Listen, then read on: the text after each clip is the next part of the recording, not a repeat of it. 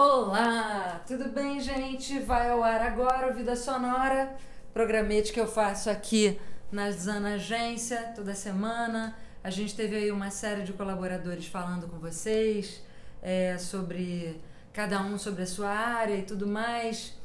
E a gente costuma falar de som, de branding, de marcas, de como é que a gente está interagindo e tudo mais. E hoje eu queria falar com vocês sobre um tema que tem me vindo muito à cabeça, que é a questão de propósito, gente. A gente, quando é, sei lá, adolescente, a gente é muito provocado nesse lugar, né? De que que eu, pra que, que eu nasci? O que, que eu vou deixar de legado para o mundo? O que, que eu, né, qual é a minha história? Por que, que eu tô aqui? E aí, eu acho que as marcas precisariam ter essa reflexão também. Por que, que ela está aqui? O que, que ela entrega? O que, que de fato. Porque as pessoas estão cansadas, a gente já sabe disso, né? De blá blá blá. Claro que a gente precisa, eu preciso dessa pulseira, dessa blusa, das coisas que a indústria e o mercado produzem. Só que a forma como a gente coloca isso no mundo é que faz total diferença, né, gente? Por que, que a gente está vivo? Em, em, que, que a gente gasta as nossas horas? O que, que significa estar vivo, estar nesse mundo? Isso é uma coisa que a gente precisa definitivamente pensar nesse momento, né, gente? Que, que é, a quarentena e essa pandemia mostra pra gente, né? A gente precisou parar porque estava todo mundo nesse corre, né? Corre, correr para onde? Para fazer o quê? Eu acho até infantil quando eu ouço alguém dizer que está no corre. Corre de quê? Para quê, gente? Se for pelo seu propósito, uma coisa que te brilha os olhos, que vai ajudar as pessoas, que vai ajudar o planeta, que vai fazer sentido, aí beleza, né? Você tá animado, você tá. É, eu acho que. É, aí eu acho que é importante, né? E aí é legal a gente estar tá no movimento mais do que no corre. Mas tá no corre para lá e para cá para vender um negócio ali ou aqui, mas por que que a gente está nesse corre, né? Acho que é uma coisa que a gente tem que se perguntar. Aonde você investe as suas horas e a sua vida? Porque você vai morrer e vai deixar isso para trás e o que que você deixa, né? Então acho que é uma pergunta que a gente tem que estar constantemente falando, mas falando, né, e pensando sobre isso, refletindo. Mas eu acho incrível, gente, sabe o que, que é? É a maneira como as coisas são feitas e como que a, é, a gente tem a capacidade de fazer com que as coisas se pasteurizem, né, gente? A palavra é, propósito se pasteurizou, virou plástico. É incrível como a gente tem a, capacidade de fazer isso, né? Entrou num processo dentro da empresa, no branding, aí vira um PDF que gira, que está ali dentro de uma estrutura empresarial e acabou. Aí morre, né? A palavra morre. Porque ela não pode sobreviver dentro de um contexto desse, né? Propósito é o quê? É uma pergunta que uma organização, desde o seu faxineiro até o seu CEO, deveria estar se perguntando e estar trabalhando para ele todos os dias e todas as horas, e desde o momento em que você acorda.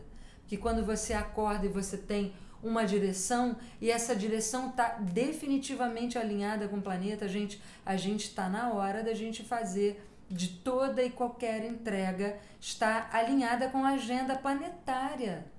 Olha, olha o que está acontecendo. A gente está parado em casa, né? a maioria de nós em quarentena, e o planeta amarradão, cardumes, animais mais perto da costa, coisas acontecendo, estrelas que não se viam. A gente está conseguindo ter uma vida mais normal dentro da anormalidade, né? Que é a pandemia. Definitivamente o mundo não vai ser o mesmo, a gente sabe disso.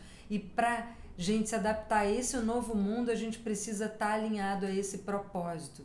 Que nesse momento é assim, a gente tem duas maneiras da gente ter, ser pago pelo nosso trabalho: o dinheiro e o reconhecimento. O dinheiro agora para a maioria dos segmentos está mais escasso, né? Vamos combinar, as pessoas estão sem dinheiro, estão em casa e as empresas estão tendo que, enfim, renegociar suas coisas todas e as pessoas também, está todo mundo renegociando tudo para poder estar tá em quarentena.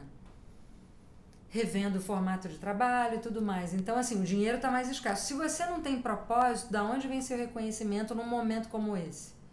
A empresa precisa de propósito, o porquê de estar vivo, o porquê de existir. Eu acho que todo executivo que tem ética, que tem algo é, algo que recebeu da sua criação, né? Algo importante, basilar e fundamental, que é uma ética planetária mesmo, sabe? É uma parceria com a Mãe Terra, porque, gente, a gente está aqui por quê? Esse negócio de carro, foguete, internet que a gente inventou, isso é tudo bobagem. Vocês acham que tecnologia mesmo avançada é internet? Internet é um monte de cabo que passa debaixo do oceano. Foguete, vai saber tantas mentiras e tantas coisas que a gente vai ao longo do tempo descobrindo, né? E tantas coisas que a gente não sabe, que foram encobertadas pelos governos para manter o controle das massas, que somos nós, né? Nós somos as células do planeta. O planeta é um, é um, é um organismo vivo, né? Tanto é que ele faz a gente nascer, ele faz a, a terra da árvore. De onde vem isso, gente? Gente, da onde vem as árvores? o mar, o movimento, o planeta, o nosso coração que bate, a gente não sabe de nada. O mínimo que a gente pode fazer é ter um propósito alinhado com a agenda planetária. Então, fica aqui o meu convite de nessa quarentena, seja lá até quando ela for durar, e nesse novo mundo que está se desenhando, a gente analisar profundamente, com cuidado e com carinho, o nosso propósito. O que que a sua entrega deixa para o mundo? tá, gente? Eu deixo aqui essa esse pensamento e vamos para frente, tá? Hum, beijo e até semana que vem. Tchau, tchau.